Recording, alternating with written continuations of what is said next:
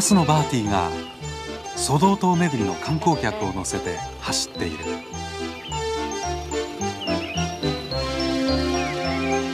ツアーの最後に観光客はエドワードに乗ってビルとベンのところに連れて行ってもらうことになっている。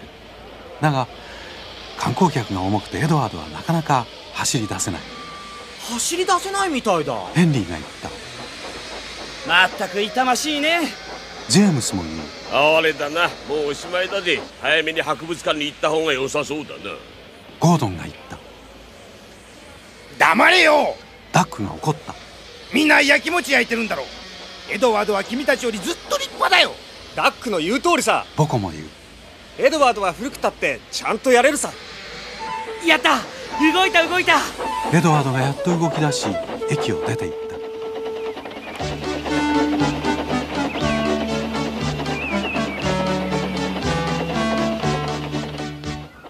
観光客がやってきてビルとベンは大喜び。2人は写真を撮ってもらうのが好きだった。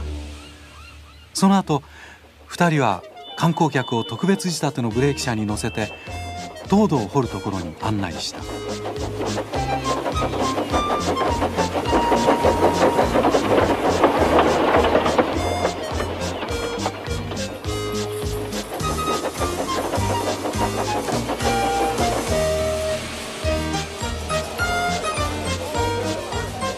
らしいひとときを過ごし観光客たちは大感激だった。その後エドワードが観光客たちを家に送り届ける。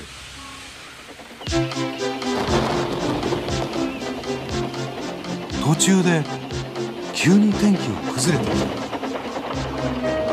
た雨と風がエドワードに吹きつけた。砂巻き装置が故障したので車掌は仕方なくエドワードの前に乗って手で線路に砂をまいた。突然エドワードの車輪が鋭い音を立ててスリップした。何かが壊れたようだ。機関士たちが壊れたところを調べた。直すのに時間がかかった。クランクピンが折れたんだよエドワード。機関士が言った。だからピストン棒を外したよ。昔の機関車みたいな片側ピストンになっちまったんだがそれでなんとかお客を運べるかい？やってみます。エドワードは答えた。エドワードは力を振り絞って引っ張ったが車輪は空回りするばかりで重い客車はびくともしなかった。乗客は不安になった。機関士と助手と車掌は客車の連結部分を調整して回った。連結を緩めたよエドワード。だから君は客車を1台ずつ引っ張れる貨車を引く時みたいにね。その方がきっと楽でしょうね。よし。エドワードは煙を吐きながら注意深く前に進んだ。1台目の客車の動きが2台目の客車3台目の客車と少しずつ伝わった。やったやった。ついに動いたぞ。さすがだ。よくやったぞ。機関士が叫んだ。ちゃんと動かせたじゃないか。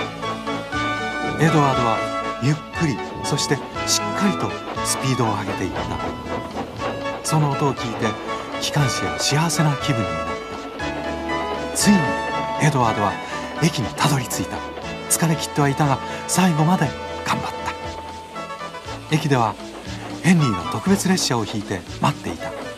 お待たせしましたトップハムハット卿は怒って時計を指さしたが感激した乗客たちはトップハムハット卿をそっちのけでエドワードや機関士の手を取り口々に「ありがとう」と言った。ダックとボコはエドワードが静かに休めるよう見守ってやった。一方ゴードンたちは黙ってはいたがエドワードは本当に偉いと思っていた。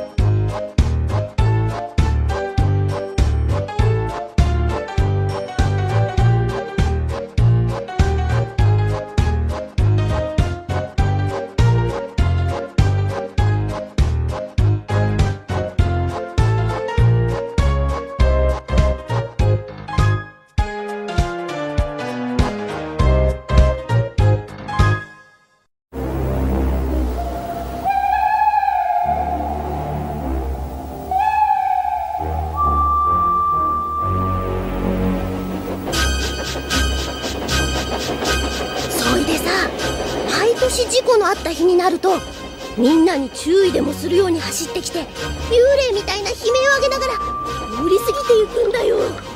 何のこと話してるんだい？幽霊機関車さ。機関士がね夕べ見たんだって。どこでさ？トーマスとトビーが聞いた。わからないけど考えただけで震えちゃうよ。まったく臆病だな。僕はちっとも怖くないね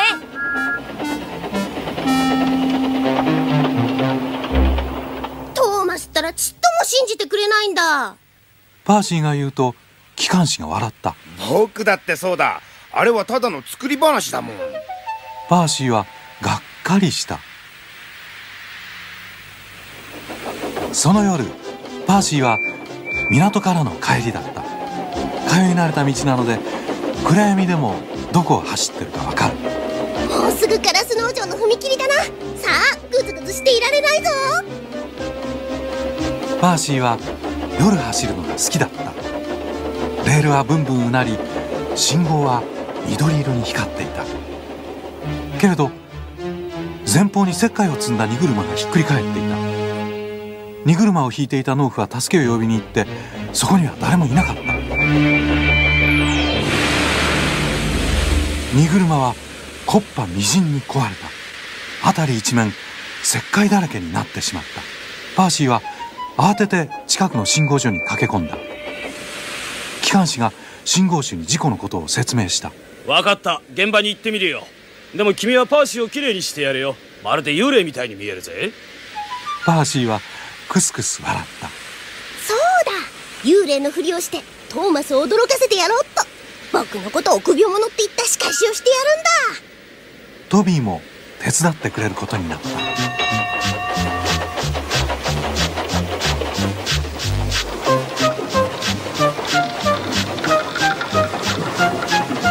トーマスは夜の出発に備えてオイルを点検していた。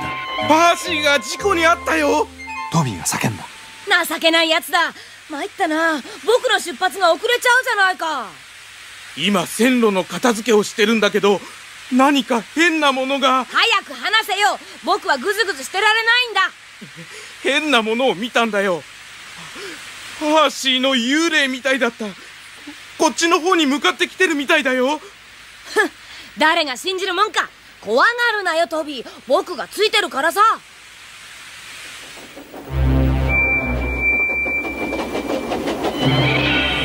入れてくれ。入れてくれよ。パーシーはすすり泣いた。入れてくれよ。ダメダメ。煙突の煙じゃあるまいし。入れてくれないなら扉を壊して入っていくぞ。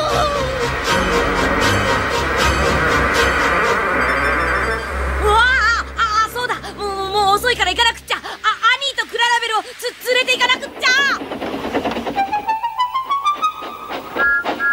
トーマスが戻ってきたのは朝だった。どこに行ってたんだい？えあああの君がパーシーのことで悲しんでいたからさじゃ邪魔しちゃ悪いと思ってかかかか貨物置き場の方で寝ていたんだよ。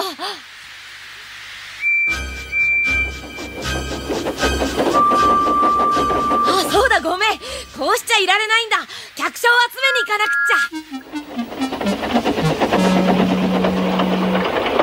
ゃ。パーシーは作戦が大成功してそれはもう大喜びだった。トビーから全てを聞いたのだった。面白かったな みんなもトーマスが本当に幽霊にあったと思ってるよ。